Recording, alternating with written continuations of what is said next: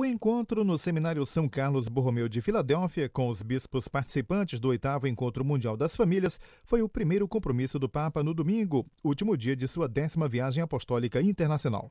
Dirigindo-se aos 300 bispos presentes, Francisco comunicou-lhes ter se reunido, pouco antes, com vítimas de abusos sexuais cometidos por membros da Igreja. O Papa afirmou que os crimes e pecados dos abusos sexuais em menores não podem ser mantidos em segredo por mais tempo, comprometendo-se por uma zelante vigilância da Igreja para proteger os menores e assegurando que todos os responsáveis prestarão contas. Em seu discurso, Francisco destacou que a família não é primariamente um motivo de preocupação, mas a feliz confirmação da bênção de Deus à obra-prima da criação.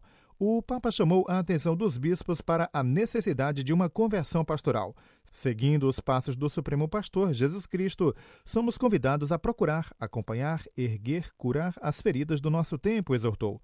Em seguida, Francisco propôs mais uma vez uma igreja em saída. É vital que hoje a igreja saia para anunciar o evangelho a todos, em todos os lugares, em todas as ocasiões, sem demora, sem repugnâncias e sem medo. Como pastores, devemos investir as nossas energias não tanto para explicar uma vez e outra os defeitos da atual condição odierna e os valores do cristianismo, como, sobretudo, convidar com audácia os jovens a serem ousados na opção do matrimônio e da família.